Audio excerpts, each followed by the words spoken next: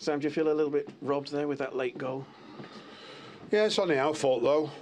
It could have been avoided quite easily by um, us taking possession of the ball on the halfway line and the hesitation between, I think, Wayne and uh, Cuco Martina um, caused us the problem initially, and then we saw a, an outstanding finish from Troy Deeney, you know, and I think that um, if you give him that much room in the box, he um, he will generally score, and he did. And uh, and for us, it's very disappointing when all ends up. It looked like at least we were going to get a point today, and well deserved at that point if we'd have got it. Got it. But um, another bitter, disappointing result away from home for us. And uh, and uh, like I said, our final third play today, overall, really what wasn't good enough to cause.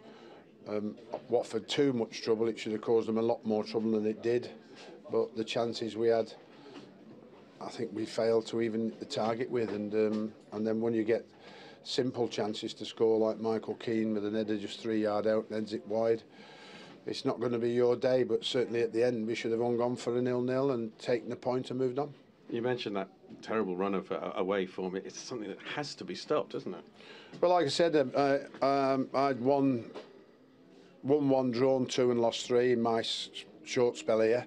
So we want to improve on that. That's not too bad. But now it's another defeat. Had there been, been another draw, I'd have been I'd have been perfectly happy with that. But the players themselves have to take more responsibility in those situations and say, well, lads, if we can't win it, we just have to make sure we're not going to lose it. And really, it wasn't Watford's great play that won them the game. It was our poor defending, particularly in that hesitant piece on the halfway line where we just could have come out with possession and started to attack Watford. We let Watford get at us and, and they fully capitalised on it.